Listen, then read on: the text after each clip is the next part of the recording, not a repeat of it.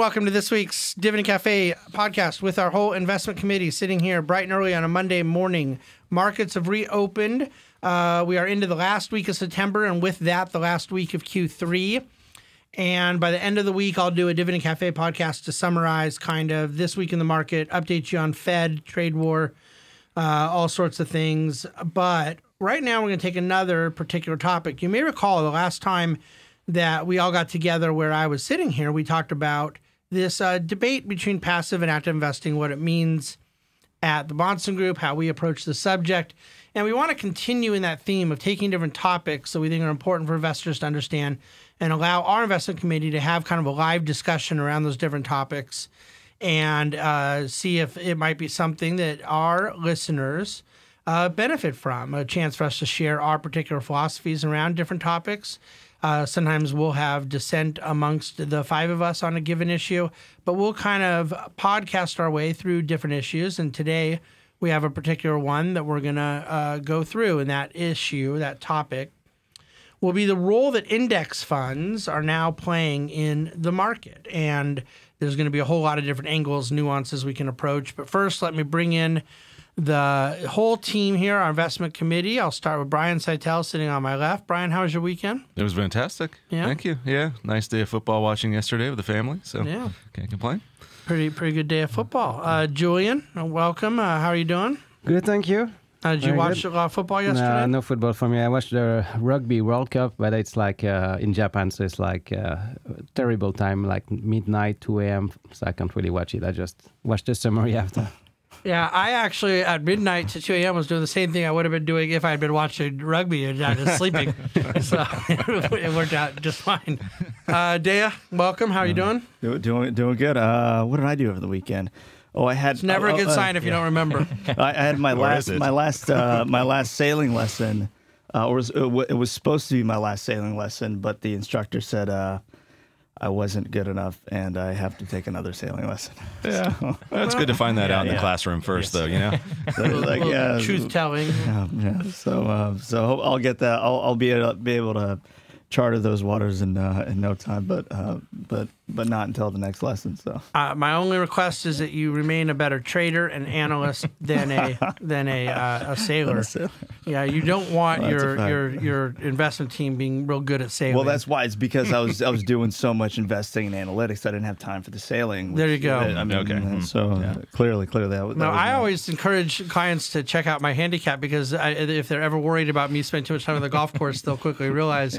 But I've played with you before where I was a little worried, like, oh, Deiya's a little too good at golf. That's not a good sign. And then I played another time where I'm like, no, he's like appropriately, like mid level, you know. Yeah, Deiya's golf game is like a guy who's a good golfer who doesn't play that much anymore. Right. Is that a fair way to put it? Yeah, it? that's perfect. Yeah. And my golf game is like a bad golfer who doesn't play that much. So it all works Me out. too.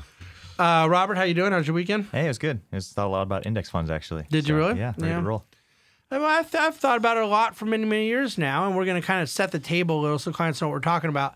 The debate is actually not uh, a, a repeat of what we just talked about a couple weeks ago, which is passive investing. But of course, index funds essentially are a way to uh, go capture passive investing. And so you could either use what's called an ETF, an exchange traded fund, which is a stock that is a basket of, of stocks, uh, basket of securities meant to replicate a given index, and it trades like a stock on an exchange. You get uh, more favorable tax treatment. You have intraday liquidity. There's different pros to it, generally low expense structure, things like that.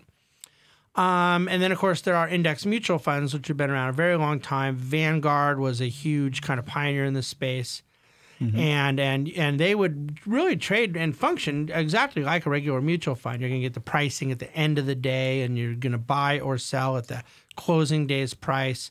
Um, it gets taxed the same way a mutual fund does, and and uh, so there's you know pros and cons to to that as well.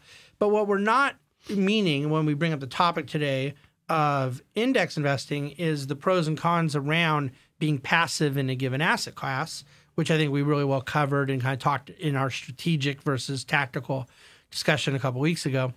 What we more want to talk about is the possibility, Brian, I'll start with you, that the market itself and an investor's experience in the stock market is theoretically going to look a lot different because of the fact that there's so much more index ownership that there is such a massive volume. Is 5 trillion an okay number to use? Something like that. uh, that the index base has gone to? Obviously you can round up or down a little bit but more or less when you and i entered the business close to 20 years ago we were looking at about a trillion in various passive strategies the vast majority not in etfs now you're sitting at 5 trillion okay? So you've had a 500% increase. And there's a school of thought out there that there is a big unknown as to well how much this volume going in index funds affects future market issues. Uh, before we go into unpacking what could be a threat and not be a threat, just generally speaking, is there systemic risk in the popularity of index funds? Systemic risk? Um, I don't think so personally. No, I mean I think index funds are the constituents of which are the you know usually weighted by market cap, the largest stocks that are out there. They're pretty liquid instruments. You can analyze them pretty well, so you know the fundamentals. So as far as a, system, a systemic risk, where the whole market would kind of come off, you know, come apart um, because of some sort of downturn because of just exchange traded funds, I, I I think it'd be a stretch to kind of you know to try to pull that one together. Um, I think you could have maybe some larger stocks become overvalued just because half the flows into equities at this point are going into index type passive products. And so you're driving up those large stocks on the top end of the index a little bit, but still, you still have fundamentals that you can look at and say, well, you know, some of those, you know, top four big tech companies that make up about 13% of the S&P 500, you still sort of know what they're earning and, and you can still analyze them. And there's still a whole lot of money chasing and, and setting prices for price discovery outside of an index fund too. But, So- but but even backing up a minute, Julien, why would there not? Why would it not cut both ways? For every buyer, you, these stocks may be higher weighting within the index than they used to be, and therefore more volume. But there's got to be buyers and sellers, right? Well, uh, there's the, I guess, the flows and then there's the trading. It's two very different things. Uh, I've done, you know, I have a lot of research here that I've done uh, the last few days just on the topic. And if you look at the trading, it's still 95, 95% of the trading done on the market is from active managers. So even though the passive investing is now 40% of the market, it's money that's, you know, being invested for the long term and that's not really traded. So the price. So let me let me, if you don't mind, make uh, a clarification for listeners on Mm-hmm. what you're getting at. I think what you're saying is of the ownership, index funds maybe let's call it forty percent of Yeah. ownership, but of trading volume, it's only five percent. Exactly. So the trading is still done mostly by active managers. So the price discovery is still done by active managers, and these um, these index funds they are simply owning stocks in a proportion that all the active investors are owning. So I don't see necessarily um, a real um, issue when we're at forty percent. If we are, if we go to ninety percent, then it's different. But we're still very far away from that.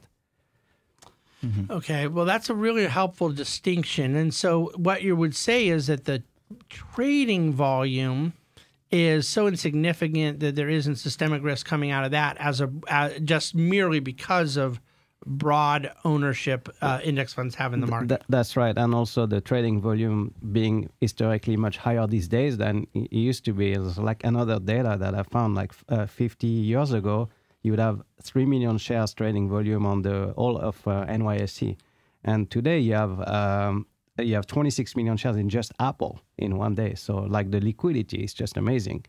And uh, you know that's another factor that helps uh, you know market efficiency. So I think market are more efficient today than they've probably ever been. Um, Deiya, do you believe that the entire conversation of index funds and te- and potential technical or mechanical complexity they bring into the market concerns some investors? Let's say you're an investor at the Bahnsen Group or one of the five of us here at this table, and we are buying stocks in our portfolio on an individual basis. And so that makes us two things: a, um, not invested in index funds, but b, uh, invested in the market that does have a lot of index fund representation. Do we have anything to be concerned about by the fact that index funds have taken on this heavier percentage of market ownership? Uh, the short answer is absolutely not. And if anything, I think we should welcome uh, essentially what, has been one of the great revolutions in finance and that is the rise of passive investing. And I just want to make this clear uh, as far as the uh, listeners go. When we say passive investing, index investing, we're talking about any sort of investing that does not have the human element in it. Well, active management, on the other hand, does have the human element. There's actually somebody deciding whether or not a security is entering that basket or exiting that basket. Uh, very much what we do here at the Bahnsen Group. You have people to get to get together. There's investment committee. There's deliberating. People are looking at fundamental analysis, and uh, there's may, maybe uh, there's a little bit of discussion around what what gets added. So that human element is that distinction that we're talking about. Uh, and as far as do we have anything to worry about as far as the passive, uh, the rise of passive uh, investing in index or index investing, and we're using this anonymously? Uh, no, I don't think we have anything to worry about. I think it's it can make active managers look bad when there's a, a melt up in the market, and there's a limited amount of dispersion, and good stocks and bad stocks are going up at the same rate because money is just entering passive vehicles. Mm-hmm. Uh, so uh, in that sense, it can make make an active manager uh, look bad because it's not it's not uh, giving them credit for picking the good names that they own versus the bad names. But on the other side of things, when there's a large sell off and uh, and dispersion is limited and the baby's getting thrown out with the bathwater, so to speak, bad stocks and good stocks are getting sold off at the same rate. It can present some opportunities for some bargains for an active manager, uh, especially if your active manager is able to hold some cash on the sidelines. So I look. I think it, it, it presents the potential for a systemic kind of mispricing, which is uh, which is a, a, really good thing if you're an active manager. So, so I I I like the as far as the trends go and pa- passive and index fund investing. That that's a trend that I welcome. So, Robert, I, I am going to ask you this question because I have it looks like Julien has all these notes and he'll be able to cheat if I direct it to him. I'm going to try to catch you maybe off guard, but you have um we're not going to go into any individual names or anything, but you have this so-called FANG acronym and couple. There's even a couple non-FANG names that might fit into this, but you may recall from a Dividend Cafe I wrote last year that, uh, and I don't know exactly where these numbers check right now, but I don't believe it's varied much. There's something in the range of five companies mm-hmm. that had a market capitalization equal to the bottom 250 companies. It was actually 243 mm-hmm. in the S&P 500. Um, my question is do you believe that that is ahistorical? Is that a new phenomena? And I will confess before that I know the answer. uh, I do think that it's different than in the past, but I think in the past there have been companies that have had similarly high weightings, but not to the degree and the concentration these days. Um, can I jump in and maybe take a counterpoint to what's been said here? So, Julien said, said something really interesting, and Dave followed up too about efficiency in the markets, right? And when you talk about efficiency from maybe a bid ask spread component, the volumes and the flows into passive have certainly been beneficial in that regard. But I find a great irony in these index funds and these passive investments because to some extent you're blindly throwing capital at a lot of companies just because they happen to be a constituent of an index, right? Mm-hmm. And so that in of itself kind of presents opportunities for active managers to go find those opportunities. So if you believe in efficient markets and you say, "Hey, I'll just I won't fight the the flow and I'll go into passive," you're you're actually doing the reverse of what you believe in. You're making markets to an extent less efficient and more beneficial for active managers down the road, right? And so I, I, I, well, I yeah. You're investing off of a model, not off of fundamentals. Yeah, that, that's you're, that's you're putting right. money into a market cap weighted index, essentially. That's, that's right. So price discovery can be skewed. Yeah, and and also just a philosophical point too. It you know I, I happen to think that to an extent the concentration of voting power in a lot of these bigger firms, I'm not going to name any, it's maybe bad for capitalism. Okay, well let's come. Yeah. Let, us yeah. do this. That is a very important topic, yeah. and that is really what people ought to be talking about. And we're going to come back ah, to that um, because it's a real it's a great angle on it. So let's let's readdress that. Yeah. Um, within the context of cap weighting, so let me first give a quick little tutorial for our listeners. If you look at the the Dow Jones, it is rather bizarrely a summary of all the stocks in their index, or 30 of them, weighted according to the price of the stock. And so you have, if you have a, a stock that is around $300 a share and it goes up 5%, it affects their index a lot more than if you have a stock that's $50 a share that goes up 5%. It actually affects it six times more because of math. Now, you could argue, well, that seems horribly inefficient. Why would it matter what the price of these stocks is? and it would be really distortive to have that kind of alteration. Yet the fact of the matter is, uh, even though I agree with that criticism of price weighted indices, over time it's absolutely remarkable how much they end up correlating with cap weighted indexes. And by cap weighted, which is the way the S&P 500 is constructed, most of the Russell indexes and so forth, is that you take the market capitalization of the company, the value of the overall business. And so let's say you had an index of two stocks, one was worth uh, 900 billion dollars and one was worth 100 billion, then it would be the index would be 9 parts the first stock and sec- and one part the second stock. So, to the question I'd posed to Robert, we did have this phenomena where you have five companies, real, big tech, new tech, high cap companies, and and um, it's Fang with a couple more. Uh, one Fang name is not in it. One non Fang name is in it. You get the idea. Um, representing this huge portion. So I was absolutely shocked to find out that um, no, it is actually not the highest w- distortion of weighting. In 1999, we were far more focused within just five companies. That makes sense. And in fact, the top 40 companies were two times the weighting of the S&P that the top 40 companies are now. So the the dis- differential between top 5 then and top 5 now was not quite as exaggerated, but you know, the tech boom and valuations at the end of 1999 were were Did, did that concentration persist for as long as this Fang has? Do you think? Do you recall? uh, well, it certainly didn't persist Yeah, past well, March uh, 2000? 2000. Yeah. Uh, you talk about a month that will live in infamy. that's a good no, point, the Nasdaq though. giving back. The it did not. It did not. And by the way, either did the Fang. During Q4, a lot of the market disruption. Far, you had an index that went down 14.4 percent. You had an average name in the index down 11 percent. Mm-hmm. You had Fang down 25 percent. So it did realign a little bit. And, that's- even and even this year, in what's been a really good year for the market, Fang has dramatically underperformed. Mm-hmm. Yeah, I was just going to say, I and that's a great point. You know, you have what you were talking about earlier as potential kind of market dislocation. Money is coming into a model, is going into an index based on a list of market cap weighted names. Maybe that causes things to become overvalued.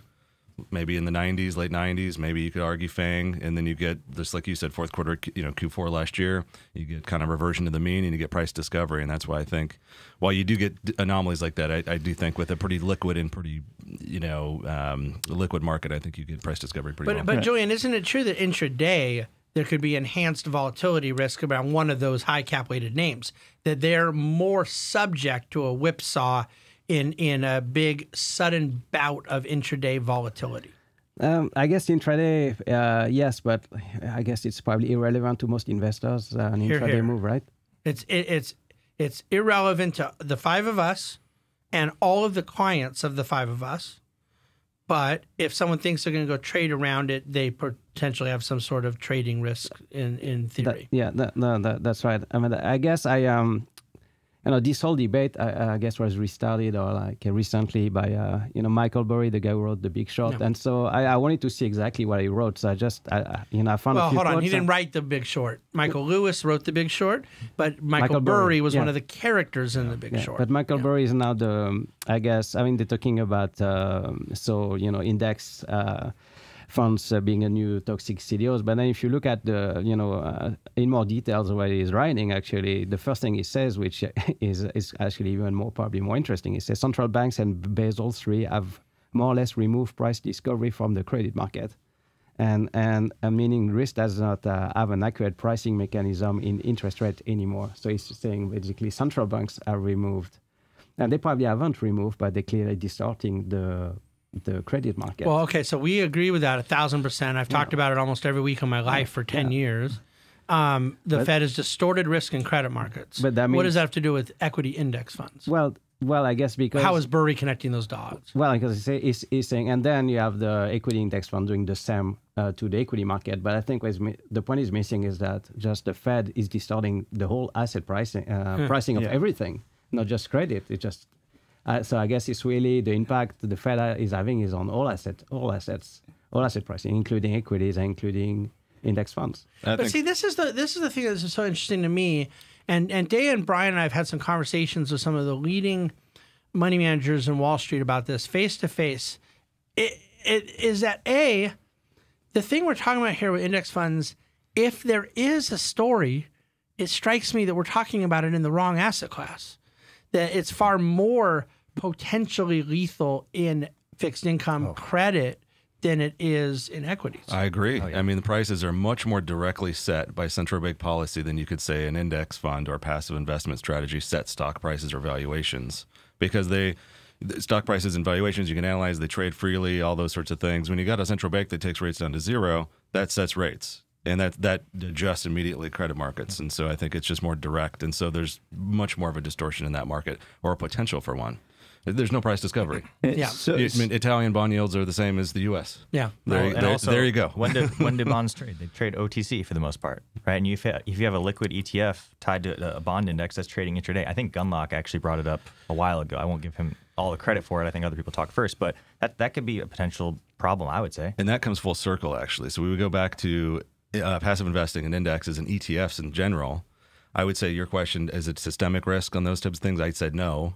But on fixed income or non-liquid assets, gold or, or you know muni bonds or things like that, that really don't change hands very much. If you're trading an ETF, you know intraday, millions of shares of volume, where's really the price discovery there? Could there be a dislocation in there? And I've always felt that way. It's never really played out that way, but it's always been a fear of mine. Yeah, I, I, I, I agree with that. I think the if you look at the underlying basket of a lot of these uh, bond ETFs, many of those bonds won't trade for weeks. Yeah. Yeah. So if there's ever a situation where and, and there's two ways Some of them ETFs have never get- traded since the primary issuance in the municipal sector. Build, Build America bonds mean? Yeah. So so so pretty. You're you're talking about pretty illiquid uh, underlying securities, and there's different ETFs can trade on the secondary market. Where it, uh, an example is a retail investor buying an ETF from another retail investor, or if there's uh, an uh, an overabundance of selling, then they sell on the primary market, and the underlying basket has to be redeemed. So those bonds. So essentially.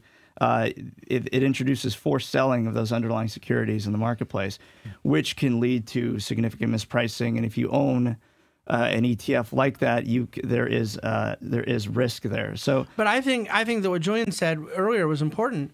Is is the risk anything more than one day volatility risk? That like I think we saw in February of 2018, in December of 2018, you had some really exaggerated selling pressure. It starts off fundamentally driven. Markets don't trade down for no reason. So let's just assume it might have had, I don't know, something to do with Trump and a tweet and trade. Are we just pretend? Sure. Okay. So the market starts selling, and you're down 500. You settle down 500 for a couple hours. Then all of a sudden, final hour, you jump down 800. It's unprovable, it's unknowable, but it's reasonable to assume part of that additive selling pressure is ETFs having to square away the trading books near the end of the day. True or false? Mm-hmm. I think it's true. Yeah, I would say it's true. It does, it does speak to. I don't know if this is what Michael Burry was talking about, but the, there could be an inherent flaw in that you're you're basically decreasing the cost of capital to a lot of companies who don't deserve it to be where it's at, but through this through this passive and index fund. Maybe that's where he was going with it. You know, when a comp- when certain companies can raise junk bonds at, at four and five percent at will in the marketplace, that's speaks to trouble to me. I think junk bond market, you know, high yield bonds. Yeah. I think that you know that'd be cost of capital. But as far as you know, equities and things, I don't think that that would correlate the same way. But maybe Well, you're, in credit you're, markets. you're popping PEs and therefore decreasing the cost of capital. but that's not You're- you're creating. that's- That's not creating more. But I don't capital think that's for the, the, passive money that put Yeah. that decided the PE of these companies. That's the that's the Fed at one and a half percent, and that's you know active managers who are doing the trading and decided that these stocks are growing uh, was 20 times PE or the S and P's were 70 times PE, and then the passive buy what's in the index. There's a real non sequitur around assuming that index buying is affecting the market multiple. We've had PEs higher than this for a sustained period of time, many, many times in market history when there was no such thing as ETFs. Very true. I mean, uh, how did we get to a 29 times S&P in in early 2000? There wasn't even such thing as an ETF, or the Spider SPY was just starting off. I, I think I think it strikes me. I will say this. I Actually, who was the guy who played Michael Burry in the movie? I think it's Christian Bale. Christian Bale. Christian Bale. He was. It was a great performance. The book's very interesting. I've heard Michael Burry speak uh, on a number of occasions. I like him uh, from everything I've seen. But listen, I have a big problem when people. There's a couple of things that are warning signals to me. Something like, "Oh, this is the new CDO." Yeah.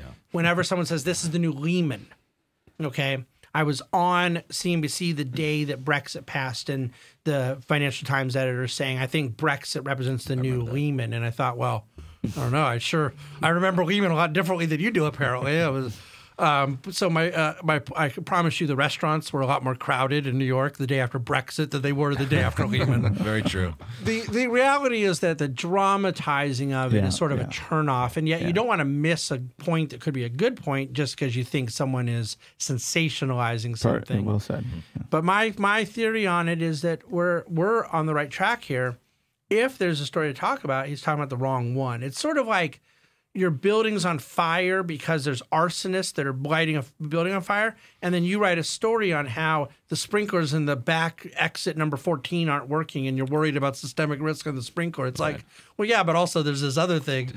And, and I and I don't believe that we have a fire, but I, I just use that as a kind of reasonable analogy. My point being, the central bank issue is 10 times the story, 100 times the story this is.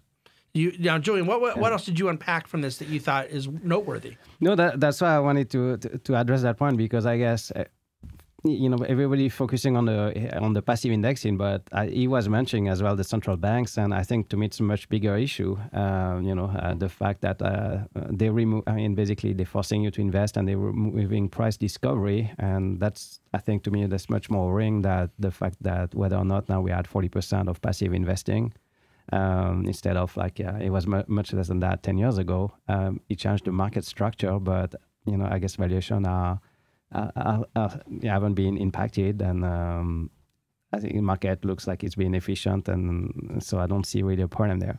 Well, let's let's do our listeners a huge favor here. The five of us, I think, are pretty sober-minded guys. We have a philosophy we believe in about the market. Um, Deiya, I hope it was okay. I said sober-minded after your weekend. You were having trouble remembering. I, it. I was just sailing.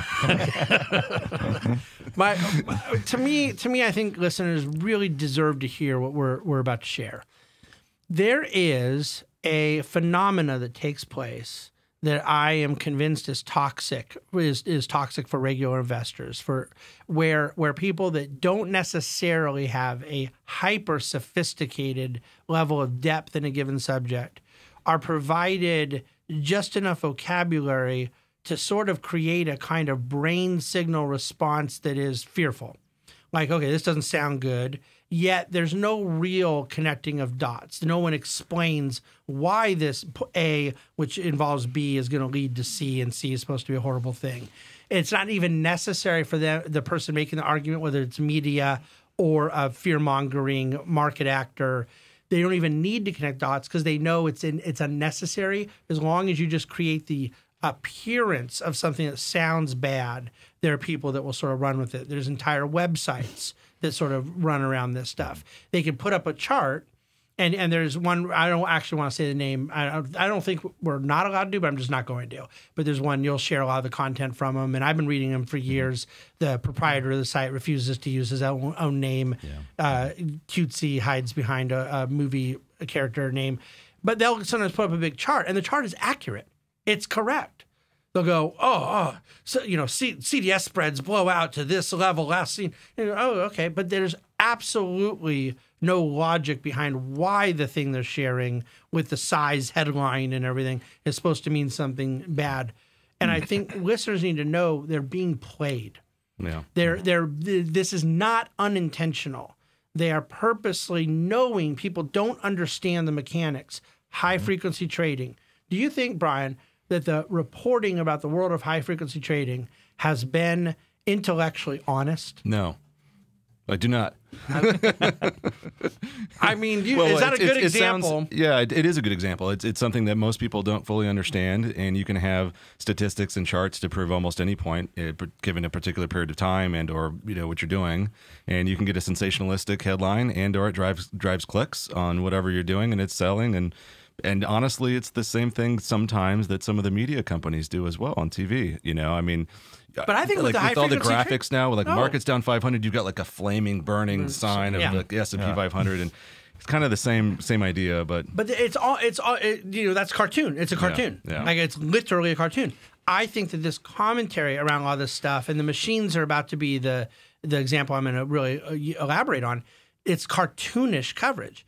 There is this narrative. I see it with intelligent people, grown adults, and they'll be like, "Oh man, you see what the machines did to us today." Yeah.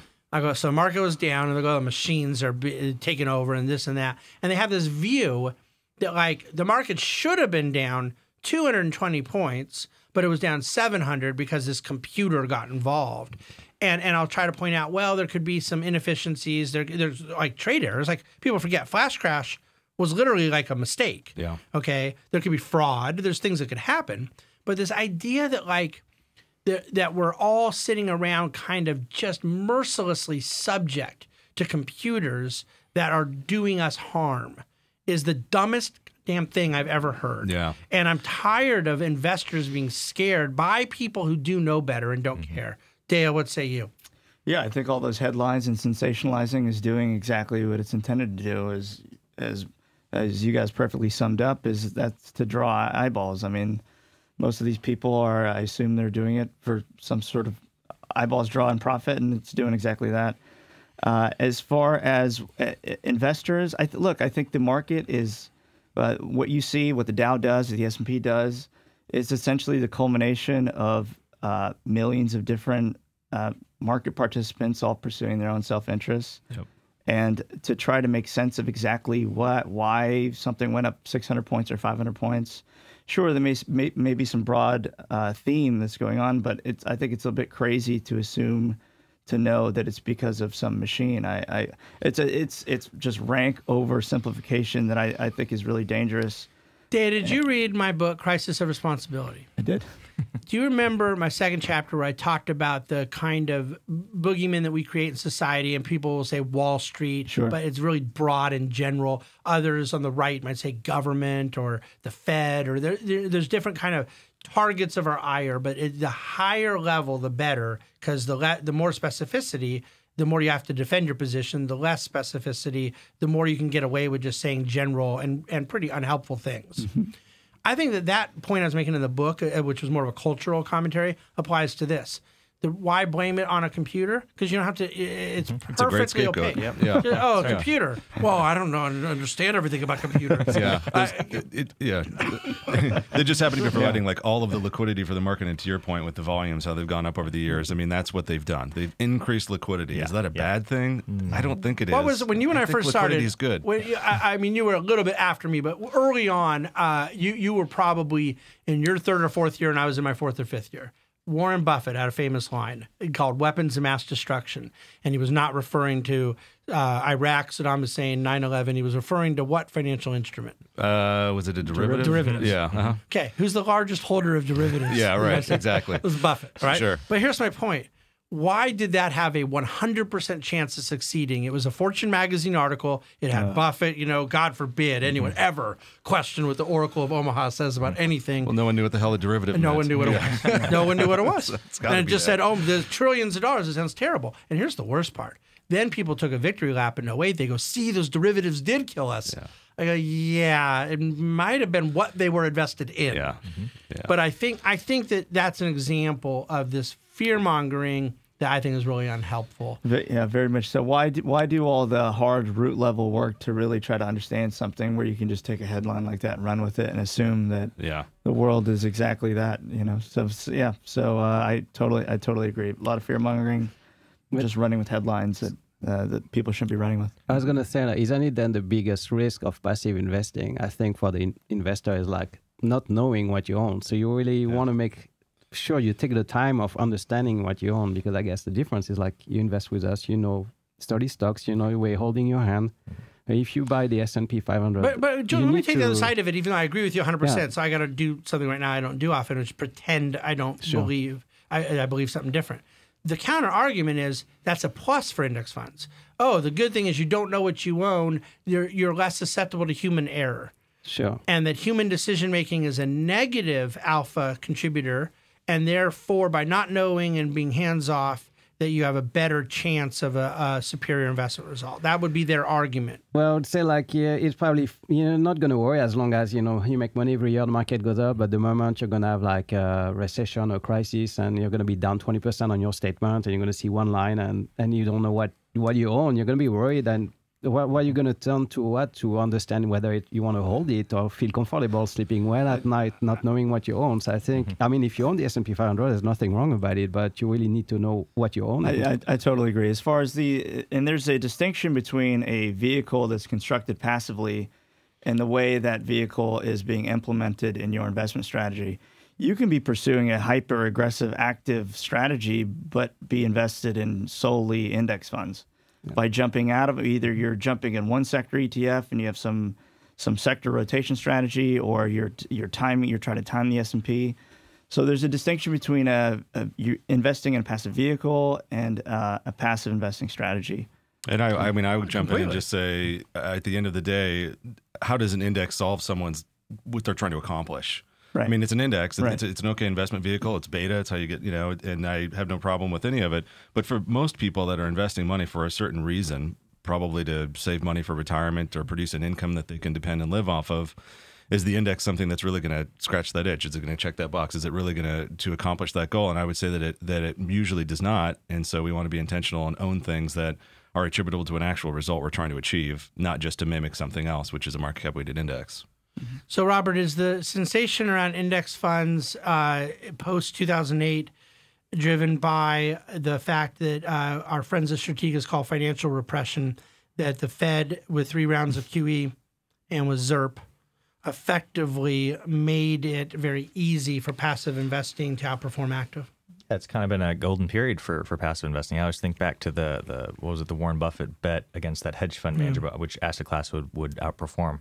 You know, I think it's done a lot to increase the allure of passive investments, but in the long term, you know, Fed Fed easing world and Fed easy world, I, I don't know that that's going to change in the near future. I, I think the dislocations will become more evident. You know, some of the things we've talked about today, um, but I think you know people won't people won't realize the the flaws in passive and index investing until it's kind of too late till they see their you know their statements down 20 plus percent and they don't know what they own. I think those will be the, the problem periods quite frankly. Brian, do you believe that um, our concern about index uh, about passive vehicles, let's call it ETFs in particular, that um, it, we're right to want to avoid buying high yield bonds through uh, ETF or municipal bonds through an ETF uh, in terms of their ability in a market disruption to function smoothly? So I, I do I do agree with that. I mean, we we want to own just like we would own individual equities, individual stocks. We would want to own individual bonds and or specific sectors and be intentional about what we own. When you own an ETF of a bond index of some kind, um, I don't want to say it's make believe, but it's there's a lack of price discovery there if the underlying assets within the index are not trading hands. You don't really know what the price is. I, I think they're so far so good. They have not blown up. There's They're not- marked to a matrix of equal durations and coupons. Yeah, which which is okay. I think in most markets it'll be fine. So, and you get big so Third Avenue was an open-end mutual fund Yeah. of high of even more illiquid assets, and it blew up. Yeah, Is that just a difference of degree, or is it a difference of kind? And and just so I don't I avoid putting you in a tough position, I will say I will uh, show the ball. I believe it was a difference of degree. That that's essentially what could happen, but hasn't yet happened with some even more traditional fixed income assets. yeah, I would agree with that. I mean, I think the Third Avenue th- thing was pretty specific to what they were doing and, and inside of that fund. But the same thing could happen in the ETF market. The one thing I would say is that we went through in 08, and, and if there's a good stress test for anything, I think in the financial markets to see what happens when it all, you know, goes the wrong way. That that's a pretty good environment, and those funds did function through there. There was dislocations for sure. You had flash well, crash, But one for, but high yield, uh, I'm, we won't go into tickers, but uh, the leading high yield ETFs had one fifth the assets under Yeah, management in point. 08 that they have now. Yep, it's a great point. I mean, it, we don't own them for those reasons. I mean, you know, I, I, I don't want to be a doomsayer either, and you know, we're not trying to sell adverti- advertising here, so I'm just trying to speak the truth with it. But um, if just think intuitively about what they are, it's something that trades every day, millions of shares, and the stuff that's inside of it doesn't trade for weeks. So there you go. There's a little disconnect there. So, so uh, Julien, we um, have talked about this in the past in Dividend Cafe, and we've had client events around this. Um, oh, the fact of the matter is that the way ETFs get settled every day, you know, I was saying how a lot of just people out there don't know how computers work and high frequency works and this and that.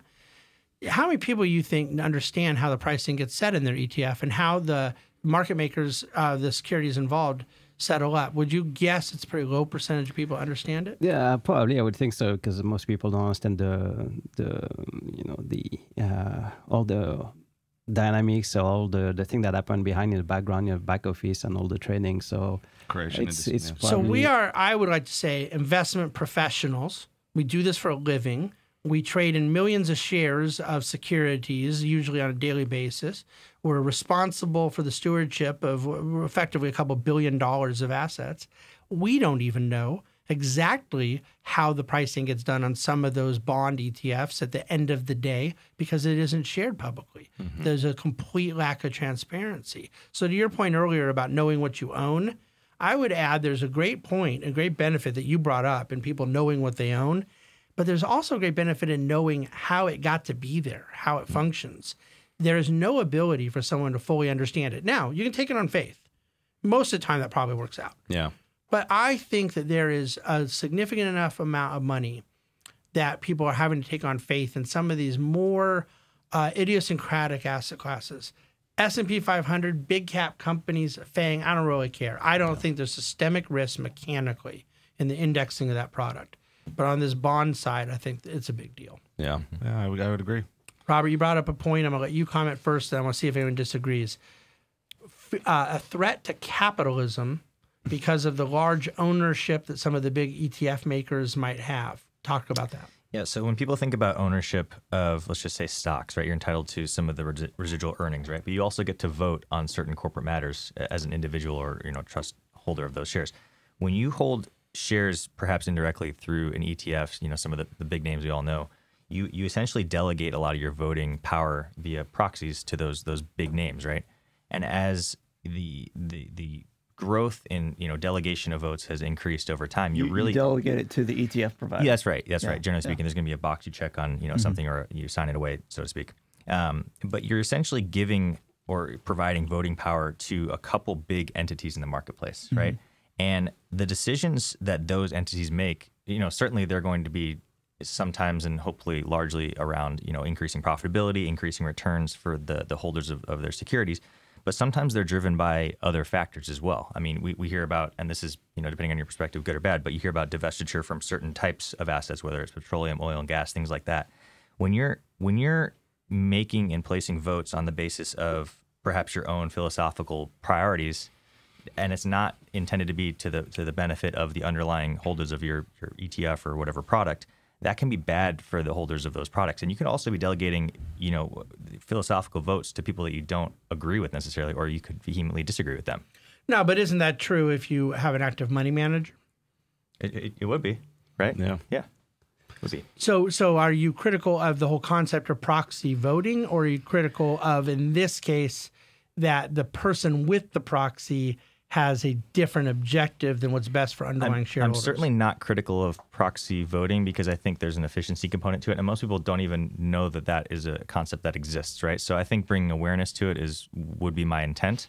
Um, but also, I think there are a lot of, of folks out there who would, if they knew about this, would disagree strongly with the votes that are being placed at corporate board levels across industries. By, around social a lot of- issues as it- opposed it, can be social. A, a big one these days is environmental, of course, as well. But uh, how does that affect your long-term returns down the road? Yeah.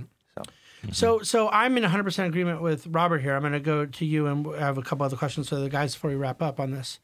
However, I would argue that within capitalistic structure, we have the antidote to the concern that Robert has, which is competition from other ETFs. competition from other ETFs and remember the you know they're market cap weighted too so the pools of those big companies are very large you know and and but I I, I would say this I would agree with you Robert I, I do think that that's an interesting point I don't think people talk about it a whole lot I mean at least I haven't seen it a lot and it's very When they talk about it, they're talking for it. Yeah. They're Mhm. talking about it's Andrew Ross Sorkin writing an op-ed saying how um, a particular ETF maker can go force companies to quit selling ammunition or something yeah like yeah that. so so so a power of ch- for change and yeah, they're, they're not talking about the concern of it. They're talking Yeah. about the opportunity of yeah, well, it- using. that cuts both ways It does. yeah yeah yeah Um, so, Julien, do you see this as something that will grow as a issue, or do you think that uh, we're overthinking it? Um, the the voting issue. And and the idea that it uh, could end up having a disproportionate impact in the boardroom, shareholder voting, it could alter the dynamics of what shareholder votes are intended to do. Well, I I don't have enough data on that. I uh, first time I hear. I mean, I I thought coming in today that it was neutral. Uh, you know, whether it's an active manager or passive manager, they still have fiduciary duty to their holders, and they. I w- I didn't think it would make a difference. Maybe it does, but I think having in general, I guess what you want is shareholder voting because a lot of the boards really um, there's not a lot of challenge from shareholders uh, at the end of the day to what the board decides. So whether it's active or passive, what you want is that people vote and I think and uh, that's you know I think that's most important that like um, they don't necessarily approve all the resolutions that are uh, you know proposed there, and it looks like uh, these days where investors are a bit more you know responsible with their votes, and if you have more concentration, that could be a good thing. That these big funds they have more influence uh, on what uh, corporates uh, do and, can do. So, Deiya, what's a bigger threat to free market capitalism? This subject of ETF representation and shareholder votes, or Senator Elizabeth Warren? I, I would go with the latter. Uh, I Those mean, that are laughing, by the way, appear to not be taking the threat as seriously as perhaps the chief investment officer of the Bahnsen Group is. the latter. You said that yeah, right. yeah, I I would, I would definitely go with the latter. As far as the Does it feel like I was leading the witness there a little? As far as the voting as ETFs go, I I do I think it is a risk. The more pe- the more uh, there's uh, degrees of separation between the who the end uh, investor that actually owns the shares and the management. I think that creates uh, a bit of uh, an issue there.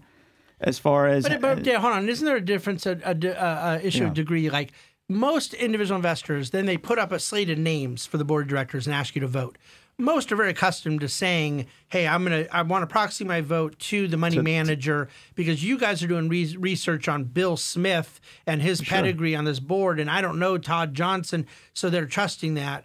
It, so that part we'd be okay with, but then it's when the the proxy starts, as Robert brought up, implementing a kind of social agenda that might not be in the economic best interest of the shareholder. Right. Not all proxy voting is created equal. I'm sure. I'm sure that uh, obviously our clients are aligned uh, uh, in more ways than just uh, us trying to being responsible for their uh, for their financial goals. It's more uh, morals and Yeah. ethics and all that and all that stuff. So I'm sure we see the world uh, the, similarly as a lot of our clients.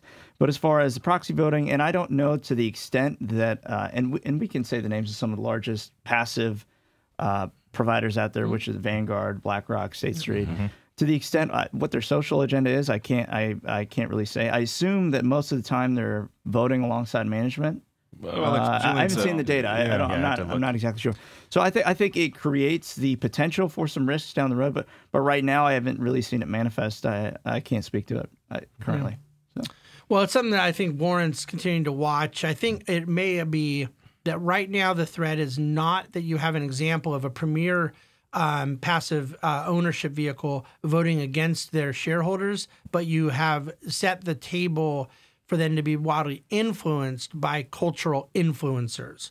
And, and so you can get an op-ed in the New York Times where I they're agree. where they're telling him you better go you know stand up to the this or the that or whatever the kind of PC thing of the day is. Some of the causes might, we might be really sympathetic towards. Could be, And yeah. other again, there are people that would hear everything we're saying and saying exactly do that. Like they would say this is good. Hmm.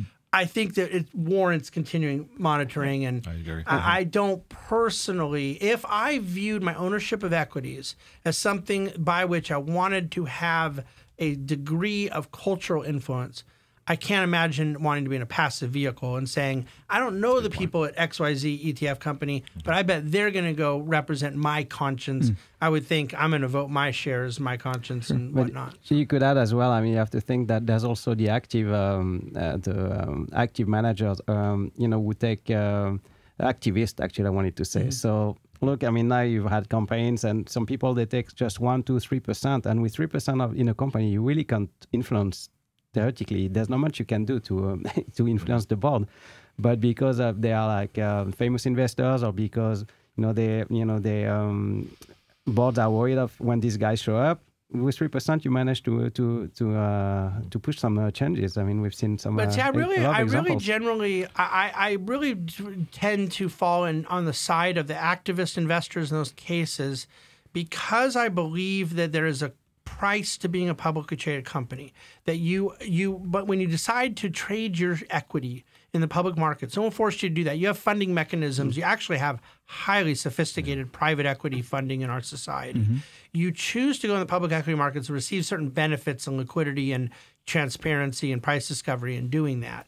Um, one of the downsides is now your shareholders have an input in how you run the company. Now mm-hmm. you set your board up the way you set it up. You have voting percentages the way you do.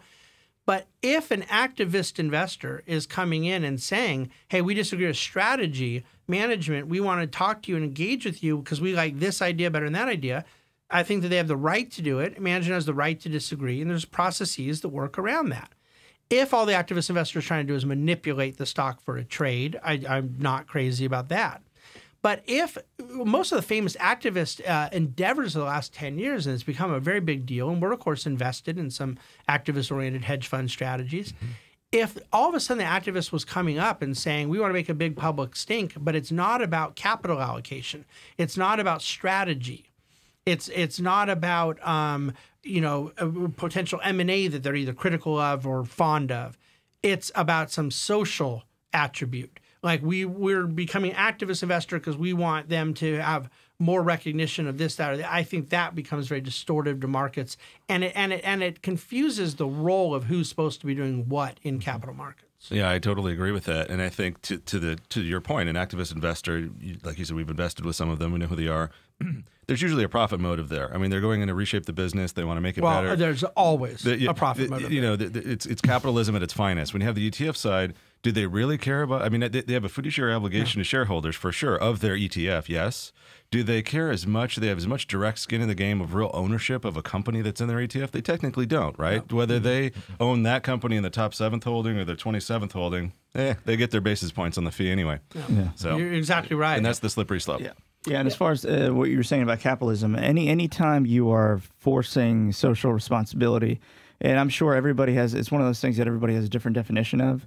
Anytime you're forcing social responsibility on a company, you're reducing freedom of that company, and that's obviously that's against the very core tenet of capitalism, which is, uh, you know, everybody's allowed to pursue, pursue their uh, self interest. a really uh, quick rule of thumb I'll help close this out with.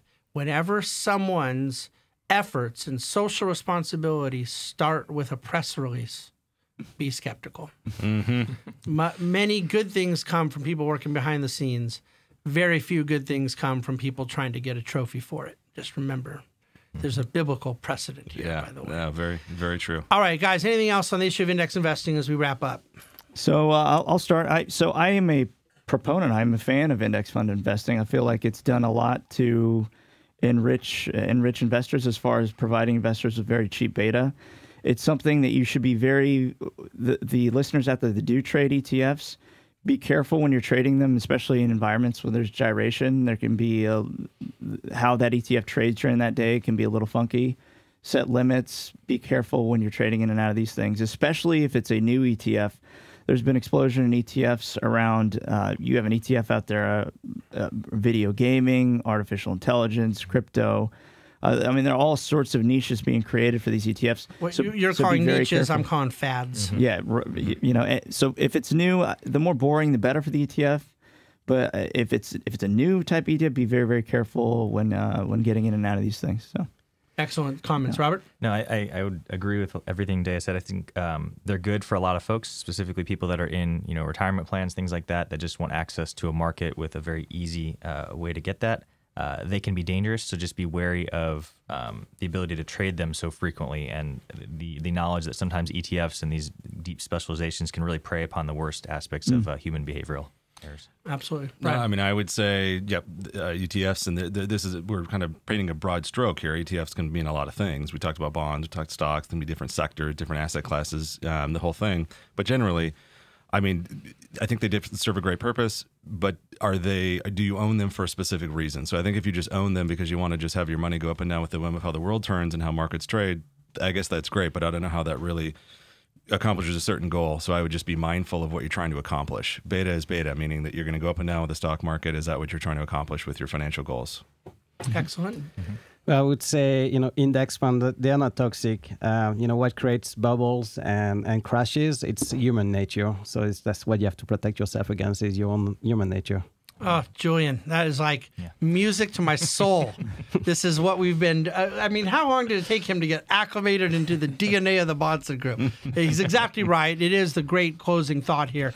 The behavioral uh, tendencies of investors. Uh, our, our friend and mentor Nick Murray constantly says that human nature is a failed investor.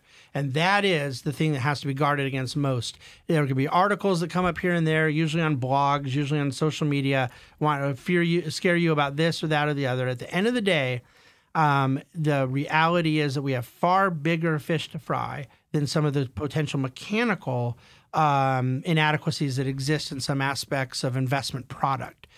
And I will close with the benefits to these ETF vehicles of intraday trading are no benefit at all to someone who's investing the right way. You do not need money at 10:30 in the morning that you can't get to at one o'clock in the afternoon eh, for a person who's properly allocated and investing around an investment policy in conjunction with an advisor who's set a financial plan and so forth and so on. Eh, the, the, the risk that comes from such intraday issues are real and mechanical around certain asset classes like high yield and municipal and things of that nature. But fundamentally, we believe that transparency is the investor's friend, and we think alignment of interest, working with an advisor, having individual product that you know what you own and why you own it works much better. So, a lot of behavioral stuff we covered this week. I love the fact we got to get into ideology of markets, um, uh, some of the kind of social and cultural components. Um, I got to plug my own uh, book in here somewhere, but it really happened organically. I wasn't looking for some kind of plug there. And of course, you see an alignment and a real shared passion with these uh, other four gentlemen around the table with me uh, to do the right thing for our clients and give you more uh, and constantly improving information. Reach out with any questions anytime. Write a review for Dividend Cafe. We'll send you a copy of our dividend growth book. Thank you for listening to the Dividend Cafe.